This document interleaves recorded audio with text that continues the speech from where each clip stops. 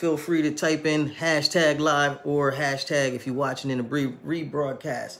Also, remember to smash the wow face. Anytime you see Mr. KC on the web, smash the wow face. I got the good, big hearted caregiver message for you. You know, I'm trying to bring that to you every day.